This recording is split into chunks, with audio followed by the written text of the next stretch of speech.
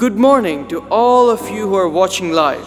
May the blessings of this day radiate through your smile, be helpful through your hands, and shine through your heart. Talk about God, not the devil. As it says in Ephesians chapter 4 verse 27, leave no room or foothold for the devil. May God bless you all.